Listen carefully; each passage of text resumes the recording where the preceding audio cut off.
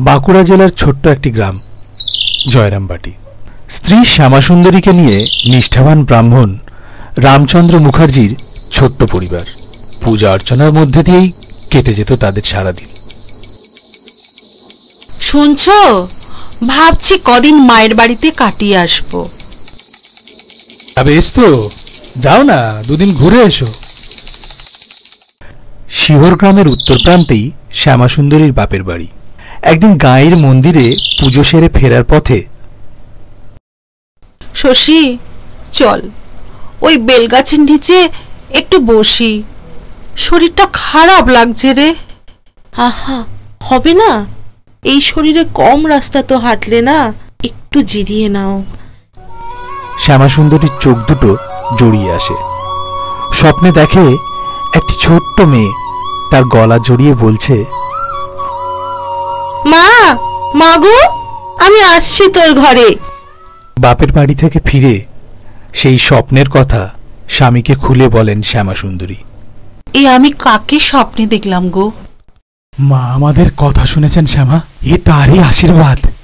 তারপর আঠারোশো তিপ্পান্ন সালের বাইশে ডিসেম্বর রামচন্দ্র মুখার্জির ঘরে বেজে উঠল শঙ্খ। ও ঠাকুর তোমার ঘরে যে লক্ষ্মী এসেছে গো! সবই তোমার আশীর্বাদ ঠাকুর সবই তোমার আশীর্বাদ। রামচন্দ্র ও শ্যামা সুন্দরী আদর করে তাদের মেয়ের নাম রাখলেন সারদা। সারদা বাবার কাছে রামায়ণ মহাভারত ও বিভিন্ন পৌরাণিক গল্প শুনে শুনে বড় হতে থাকে। কিরে মা?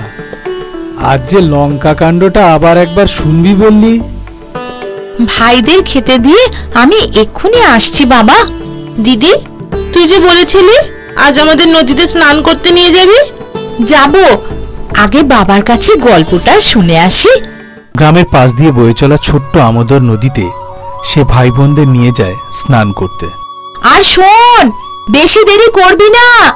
বাড়িতে অনেক কাজ তাড়াতাড়ি ফিরতে হবে। বেশি দূর যাস নে ভাই।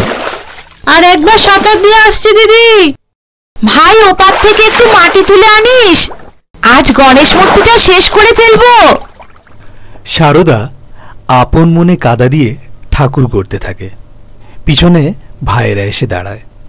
দিদি চল আমাদের স্নান হয়ে গেছে। চুপ চুপ দেখছিস না? দিদি এক মনে ঠাকুর করছে। ঘরের কাজকর্মেও সারদা মাকে সাহায্য করত। সারদা গরুগুলোর খড় কাটতে হবে মা। তুই বিচালিগুলো বেঁধে দে। আগে খাবার জলটা এনে দিই তোমায়। সেই ছোট্ট বয়স থেকেই সে সাংসারিক কাজকর্মে পারদর্শী হয়ে ওঠে। একদিন খড়ের গাদার সামনে বসে বসে সে আটি বাঁধতে থাকে। এমন সময় আমি তোমার খড়ের আটি বেঁধে দেব? দেবে? তা দাও। কিন্তু তুমি কে গোমে আমার বাড়ি পাশের গায়ে। ইস তুমি খুব ঘেমে গেছো। তুমি বরং বসো। আমি বেঁধে দিই তুমি বাঁধতে থাকো আমি গরুকে জল খেতে দিই। গরুর জল দিয়ে এসে সারদা দেখে এ কি? মেয়েটি কোথায় গেল? ও মা! সব বিচালিগুলো দেখছি আটি বেঁধে দিয়েছে। মেয়েটি কে?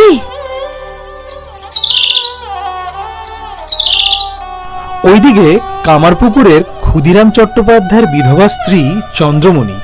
তার কনিষ্ঠ সন্তান রামকৃষ্ণের বিবাহের জন্য একটি মেয়ে খুঁজছিলেন। আচ্ছা আমি খোঁজ নেবক্ষণ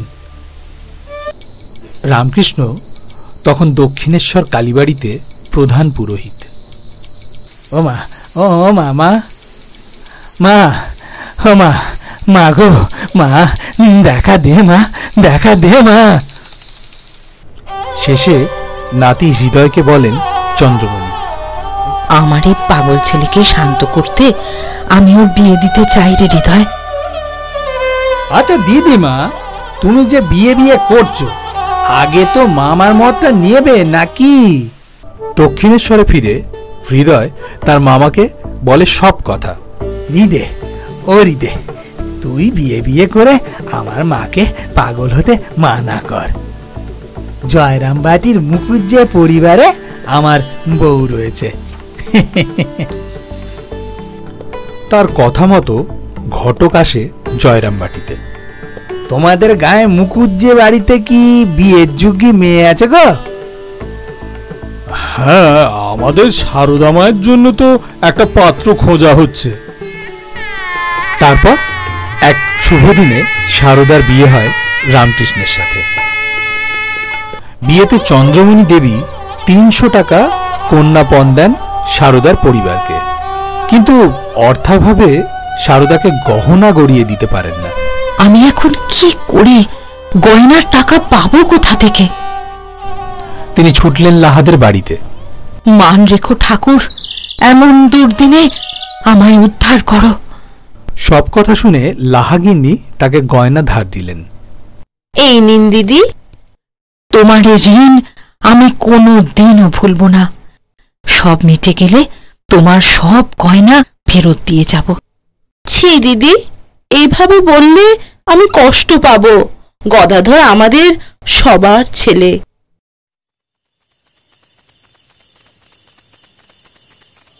বিয়ের অনুষ্ঠান মিটে যাওয়ার পর বুঝলে সারদা এই গয়নাগুলো মাকে ফিরিয়ে দাও। না ওগুলো আমার গয়না। আমি কেন দিয়ে দেব? ছোট্ট সারদাকে বাগে আনতে না পেরে একদিন ঘুমের মাঝে তার গা থেকে সব গয়না খুলে নেন রামকৃষ্ণ। ঘুম ভাঙতে গয়না গায়ে না দেখে কান্না জুড়ে দেয় ছোট্ট সারদা। আমার গয়নাগুলো গেল কোথায়? একই একই কাঁদে না সারদা? ওই গয়না আমি তোমায় পরে গড়িয়ে দেব।